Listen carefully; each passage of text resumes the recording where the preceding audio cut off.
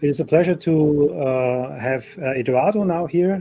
Hello. We, uh, we will switch to a kind of very different topic, I would say. Uh, uh, Monty Python would have said now for something completely different because we are now talking uh, about soccer, right? Football. Yeah. Yes. So, yeah. So, uh, hopefully you, you, you, you, can see my screen. Yeah, yes, thank you. Screen, and the floor is yours. Okay, thank you. Hello, everyone. Yeah, uh, I'm going to talk about this project that it's been around for me for quite a long time. Uh, the idea is as a as a have a website of a club fan to hold statistic in, in the history of the club, right? Um, and how I, I'm using semantic MediaWiki to do that. Uh, let's see. Uh, I'm not sure. Okay. So a little bit about the agenda. I'm going to talk about me a bit just to give a background, uh, then about the Cruzeiropedia uh, or Cruzeiropedia, depending uh, if you, uh, depending how, how you want to speak it. So how we was it before Semantic MediaWiki, then after that, some failed project that I tried after uh, having this successful one. Other projects that I, I'm helping to, to uh, work and some questions at the end. about me, just a second. Yeah. So about me, I'm a Brazilian. Uh, I'm a software engineer and a developer, and I love to automate stuff. So automation is my is my passion, and and but in, in all of that thing, very geeky. Uh, but I, am very terrible at UX design, as you might see uh, when I show you the, the page. Uh, I started contributing into Wikipedia on the 3rd of June 2005 and after more around four years uh, doing that and doing for uh, the, the, club fan that I'm going to talk about and then I have to start my project so I love collaboration projects so uh, I, I, was into Wikipedia uh, from the beginning and all the MediaWiki uh, projects uh, overall and I'm a huge Cruzeiros fan okay uh, it's a Brazilian uh, football club that is uh, is not really, if you look it up nowadays, it's not really in the good stage, which break my heart. But it's it's one of the biggest in Brazil, and just not living the, the best days. But yeah, any just if you wonder, this is a what this picture was taken in Western Australia when I was there traveling. So the project, the Cruzeiropedia or Cruzeiropedia uh, product. Uh, why I, I, started. As I mentioned, uh, I tried to contribute to Wikipedia a lot, right? And not all the all the informations about the club could be found there. Usually, man, man, many they have like the overall history, some major events, but uh, as a fan, I want to know, and I mean everything about the club. You know, uh, for, for, from the, the, the everyone that works there and every numbers, everything that happens. Even with the fans, sometimes, sometimes I want to know uh, numbers, not, not just about uh, attending these stadiums, but if, even some fans that organize groups, I, I want to know about them as well. Wikipedia doesn't allow you to go that deep into uh, information, right? So I, I would like to know the game lineup and I was not allowed to to uh, add them in in Wikipedia, right? And, and usually there they only have like important games, like usually the finals or something like that. Uh, they they can they, they they let you to have pages about the overall overview of a club's uh, a season, but uh, it's just like major numbers, very very uh, very few things in, in tournament as well. So then in 2009 uh, Cruzeiropedia.org was born. And I, my idea was from a, co- uh, a club fan perspective to cover everything that uh, that happens about that that, that club. Uh, so my idea was having every single game lineup and not just the professionals, the female uh, lineups, the juniors lineups, everything, right? even uh, friendly uh, games, everything. So, and all of them need to be done by season, by championship, by stadium, maybe some some uh, other club that I will be playing against. So I want also those numbers be uh, divided uh, that way. And the the statistics about the players playing in Cruzeiro because uh, I, I, want to know how they how they done specifically on Cruzeiro. Cruzeiro in in in, in um, Wikipedia you can have that, but it's really like just games score and and that's it. And, and I wanted much more than that. So before the Semantic MediaWiki, before I find out about it, uh, the the web page like uh, Wikipedia is very uh, heavily dependent on manual intervention. So if you don't have a huge number of collaborators, you're gonna have a lot of work in your hands, you know, and so it becomes very hard to keep up with the the new information that comes up uh, every day. And so we don't we didn't have most of the players uh, covered. Uh, we only have the important ones because it was very hard to, to all the statistics about tournaments and everything were done by hand. And even that it was uh, uh, view only the important ones.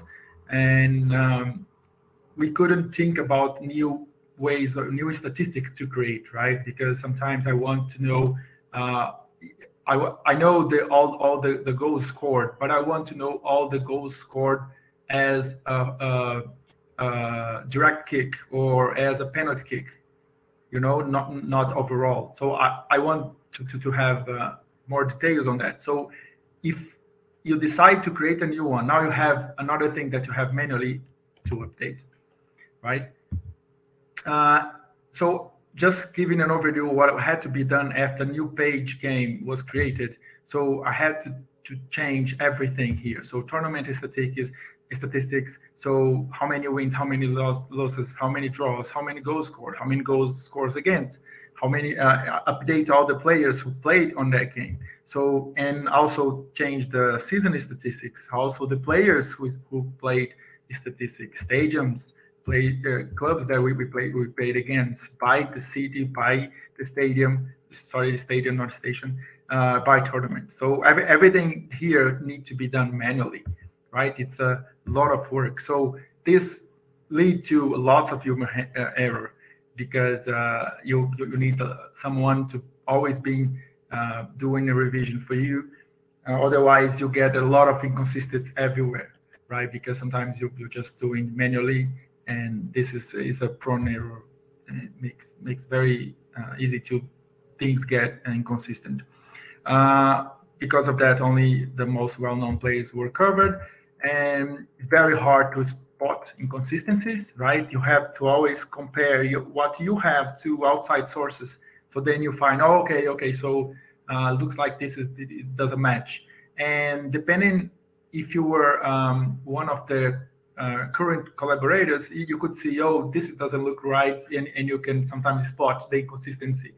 But uh, for someone that just visiting the page from uh um, someone that is contributing a lot, uh, it's almost it's practically impossible to spot any inconsistency, and also it's hard to automate uh, some inconsistent de detection with that. There's no API to external tools, so if you want maybe export your uh, inf uh, some information, some statistic uh, from to other tools, some other um, tools that you just can't. But then I found out about Semantic MediaWiki and now a new chapter begin like completely uh, re revamped the, the, the whole project. So in 2015 you know, very very late uh, i've heard people talking about 2008 2015 was the first time i, I, I don't remember anymore uh, how it happened but i just it just clicked on me when i thought about it and i started incorporated uh, into um, so now after a game is created everything is updated automatically. I don't have to do any more new intervention. As long as the game page is has the, the, the correct information, everything else will be correct as well. So all the numbers, everything, right?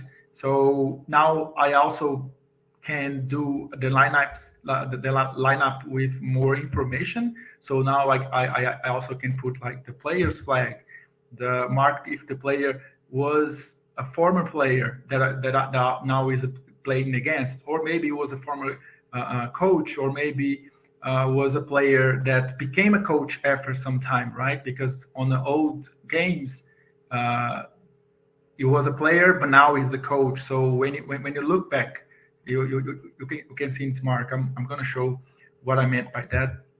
And everything here is done automatically, right? Based on the on the other pages. I don't have to look it up. Oh, so which country displayed it? Or did it did display plays played against us or not. I, I don't need to know that anymore. I just need to put the play the, the, the player there in the in the in the, in the, the games page, and everything will be uh, will, will happen. So now pages can be have more statistics. Statistics. So now on the pages uh, players on the players page, uh, you will have all the goals. If it's a direct free kick, it's a penalty kick. Uh, how many games we win, lose, or or was a draw when the, that player was present. He played on the bench from the bench. On he was on the bench, or he played on an official game, a friendly game. So everything could be done automatically. And even when I, I need to think about new new type of statistics, I can create a new one. And depending on what is it, it takes way much uh, effort than it would take we, without Semantic Wiki.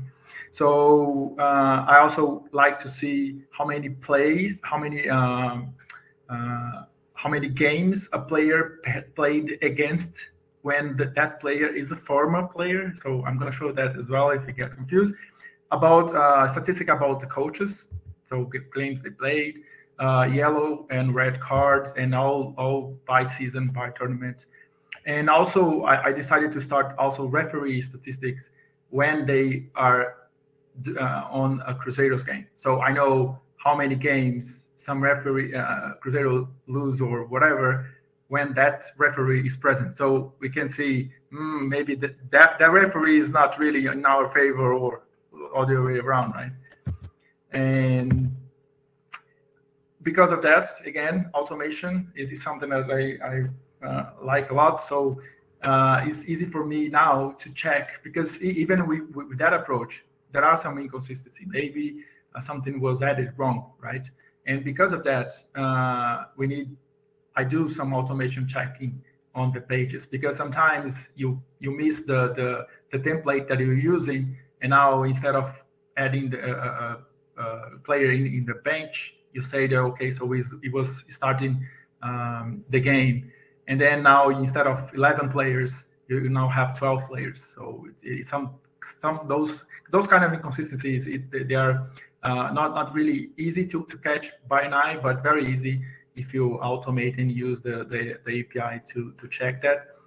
Um, much more easier to uh, spot inconsistency and even for a human because now i can put some i'm, I'm going to show that i'm going to put some marks and when you, you you look you can see oh this doesn't look right. So you just have to uh, correct that. And again, the API allows to create scripts and enhance uh, the, the, the Semantic MediaWiki capability because sometimes uh, there are there's so much that it can do for you, but you, you, you can also ramp up that and collect those informations, maybe put in a database, and then you do more complex stuff, and then you put that back in the in the website.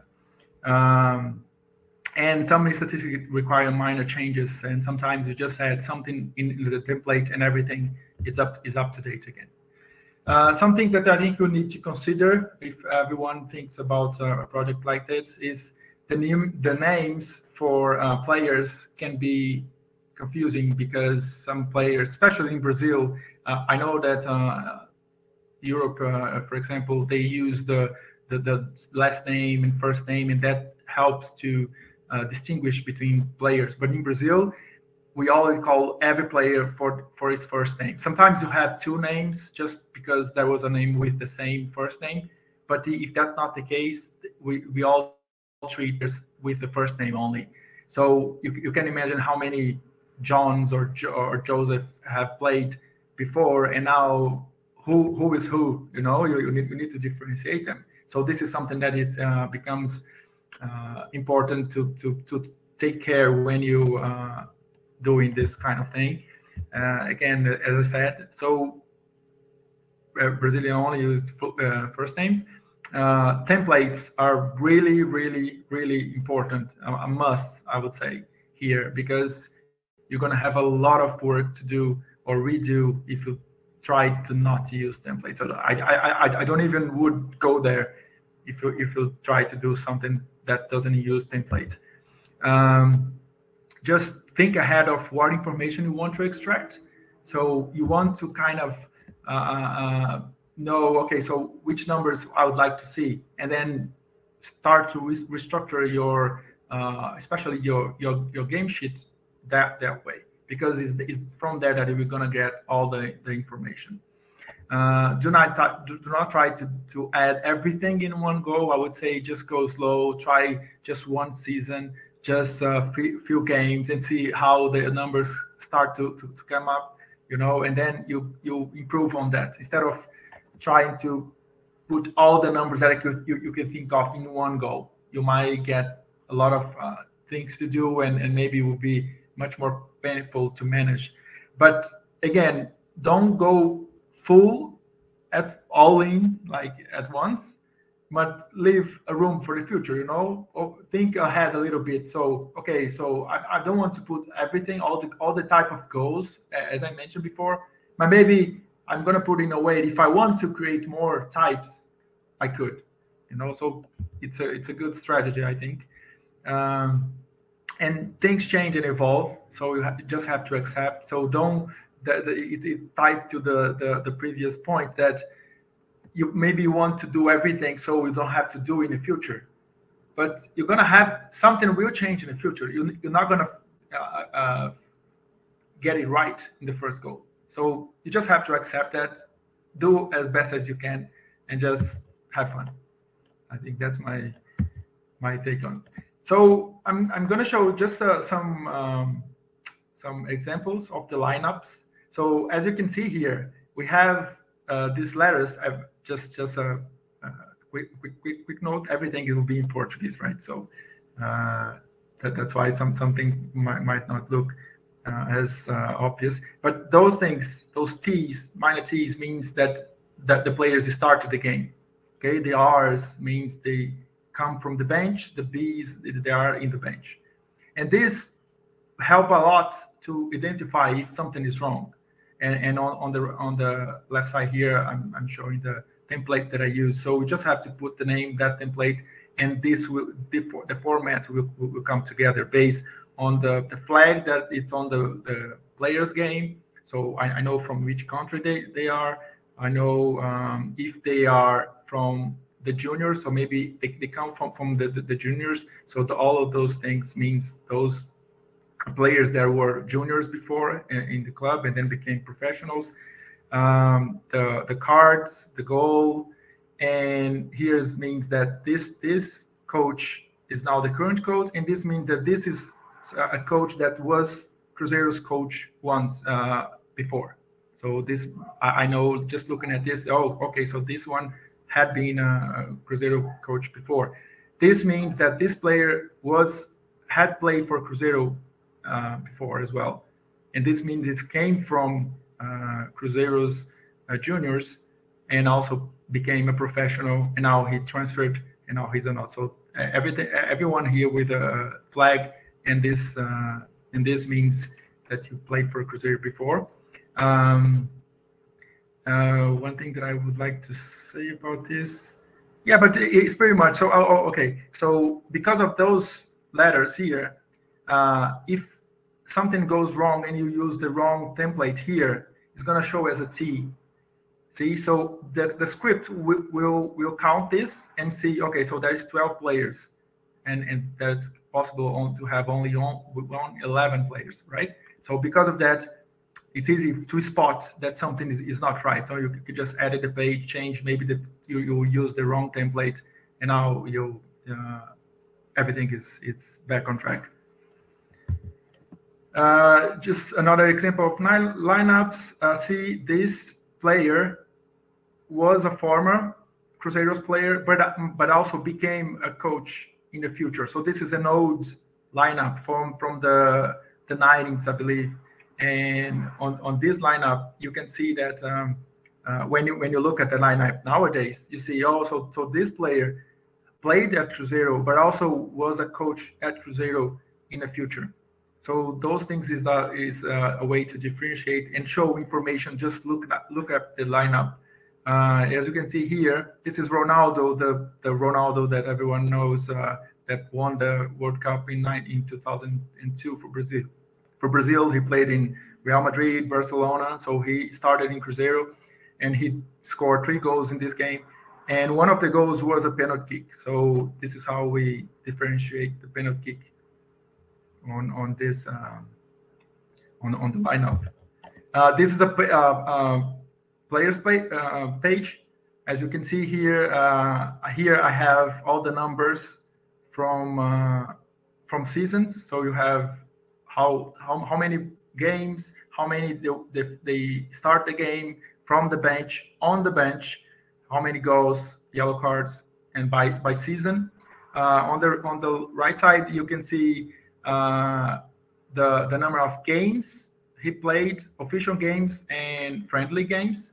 So it's uh, different. If if he had played, if he had scored uh, foul games, uh, sorry, free kick games or uh, penalty games, he would appear as well in the goals here. We say, okay, so three, because those three were, were all uh, normal uh, uh, goals, so uh, they they don't show uh, differently. You can see that he played 88 uh, games was a victory when he played, and 26 is very small for me here, and 30 was a was uh, was a loss. So V means victory, E means draw.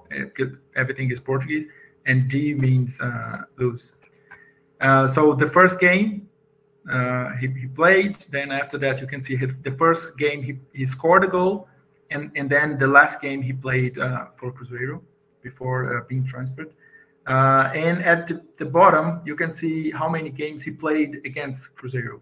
So you, you, can see I, I, also highlight the the color so you can see easily which game was uh, a win, a loss, uh, or a draw. And, then you have which stadium, city, and championship that was um, played this is uh, the current squad. So this is also done automatically using that, that, template because on the each uh, player's page, I had a, a saying it's, it's from the current squad or not.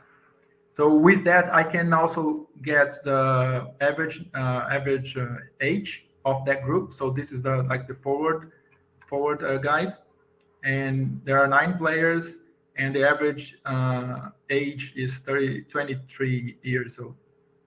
So here you have uh, the, the major information. So how many games they played, the, the, their name, how many games, how many goals they score, their uh, date of birth, uh, local birth, the, their the full name, and then the last the last game they played. Okay, uh, and, and last last game means he played on from the bench or he started the game. If he was on the bench, it doesn't go into the statistics, only in the that specific statistic. So I, I started uh, another project uh, a while back trying to cover all the Brazilian uh, championship. So the idea was similar, but I, would like to see, okay, so how was the, the Brazilian championship as a, as a whole? So I, I want to all, all the lineups and try to uh, have this, a similar thing that I have only for Cruzeiro, but for the whole uh, clubs, focus on the Brazilian Championship. Okay. But the problem is uh, covering all the lineups were really a nightmare for uh, if you if you don't have like a massive amount of people doing that. Auto- automating was a problem because I, I, as I told you before, in Brazil we we call uh, players with for with the, the first names, and because of that, uh, there, there's a lot of confusion. That if you don't know that specific team, it's going to be very hard for you to uh, differentiate the, the, the players. So I try to extract from the official sources, which are PDFs, but the problem is some names are so big that they truncate the name. So you cannot extract easily, and you have to start figuring out and open every single document to do that manually. So it's really, really and heavily dependent on revision and, and contribution of others. So that project, when I couldn't find enough people to help me, I just gave up and, and started working on it. Other products that are, that are currently working is a uh, Gremiopedia.com is from the Gremio. It's, it's another Brazilian. Uh, uh, this one is, is a really big one. The Gremio is, is a really uh, big one, big big page, uh, and it, they started like two years ago, I think, and I helped them to set up everything because the, the, their technological knowledge, technology knowledge, knowledge from them is not uh, really big. So I, I helped them, especially on that part and the structure part but they are, are doing uh, fantastic. Uh, this is another two ones that they contacted me to help them to to set set this up, and but but they because of uh, time and all of that they haven't started yet. But I hope next year they can start and, and have their own pages. And that's pretty much about it. I hope everyone, someone had questions because I could talk about these projects for a long time. I Just don't want to go too much on you.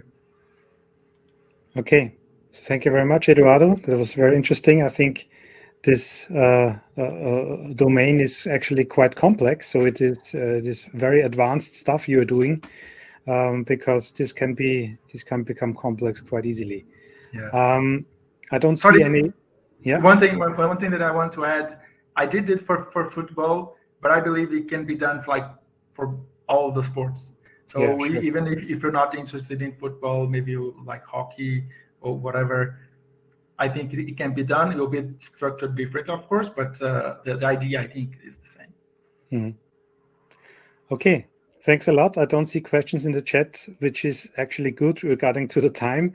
Yeah, uh, I, hope, uh, I hope we, we, we, can see you uh, during the conference. Um, uh, there is also the possibility if you look at the people tab, then you can also directly contact persons and and uh, maybe if someone has a question to you you will be sure. available.